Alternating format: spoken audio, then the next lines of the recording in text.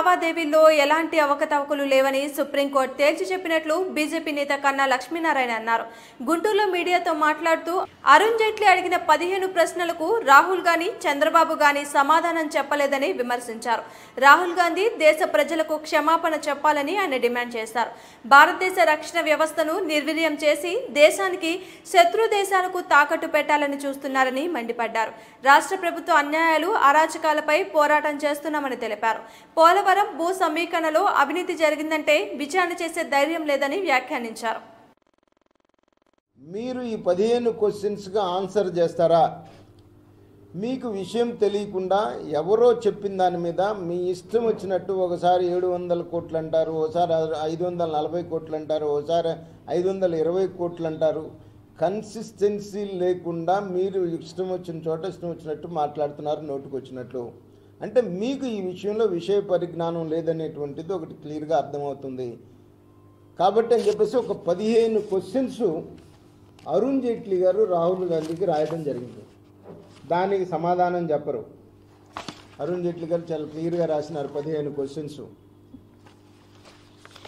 సుప్రీంకోర్టుకు వేసినారు వాళ్ళ పార్టీ తరపున. ఇప్పుడు పార్టీకి సంబంధం లేదని అంటున్నాడు అనుకోండి సుప్రీంకోర్టుకు వేశాడు. వాళ్ళు వాళ్ళ పార్టీ తరఫున అందరు కూడా ఆర్గనైజ్ చేసి అందరు కలిసి పెద్దలు అందరు కలిసి వేసినారు క్వశ్చన్ పరిస్థితి. సుప్రీంకోర్టు చాలా కేటగారికల్గా చెప్పింది ఇందు ఈ ట్రాన్సాక్షన్ చాలా ఫెయిర్గా ఉంది అనేటువంటి మాట. నేను అడుగుతున్నాను చంద్రబాబు నాయుడు కానీ రాహుల్ గాంధీ కానీ ఈ రోజున రఫేల్ కుంభకోణం నుంచి మాట్లాడే వాళ్ళందరినీ కూడా. మీరు బేసికల్గా ఏదైతే అరుణ్ జైట్లీ గారు ఒక పదిహేను క్వశ్చన్స్ అడిగినారో దానికి ఒక్కదానికి కూడా మీరు సమాధానం ఎందుకు చెప్పలేదు. ఆ రోజున అరుణ్ జైట్లీ గారు ముందుకొచ్చి ఈ పర్చేజింగ్ విషయంలో కానీ రేట్ల విషయంలో కానీ మీ దగ్గర ఏదైనా ఆధారాలు ఉంటే we are referring it to the CAG మీ దగ్గర ఏదైనా ఆధారాలు ఉంటే కాక్ ఇవ్వమని చెప్పేసి చెప్పినారు. But you have not given any evidences to the CAG రెండు మీ దగ్గర ఏదైనా ఆధారాలు ఉన్నట్టయితే మరి సుప్రీంకోర్టులో ఇంతకాలం కేసు నడిచింది వాదనలు జరిగినాయి మీ వాదనలు చెప్పినారు ప్రభుత్వ తరపున వాదనలు చెప్పినారు అంతా జరిగింది. మరి సుప్రీంకోర్టుకు మీరు మీ దగ్గర ఉన్నటువంటి ఆధారాలు మీరు ఎందుకు ఇవ్వలేకపోయారు? మీరు గాలి కంపెనీని నమ్మి ఇది రెండోది. ఒకటి తెలంగాణలో చేతులు కాల్చుకున్నారు.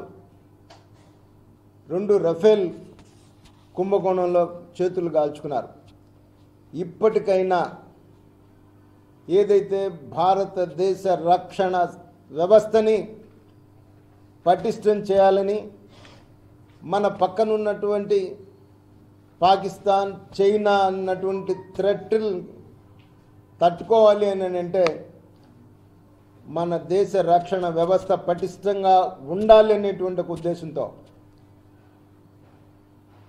నరేంద్ర మోడీ గారు తీసుకుంటున్నటువంటి చర్యలకి మీరు సమర్థిస్తూ జరిగిన దానికి మీరు దేశ ప్రజలకి నరేంద్ర మోడీ గారికి క్షమాపణ చెప్పాలని చెప్పేసి మేము డిమాండ్ చేస్తూ ఉన్నాం.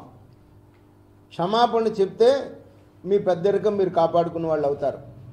అసలుకి ఇప్పటికే మీ మీద అనేక రకాలైనటువంటి అనుమానాలు కొన్ని కథలు కూడా రూమర్స్ వింటున్నాం.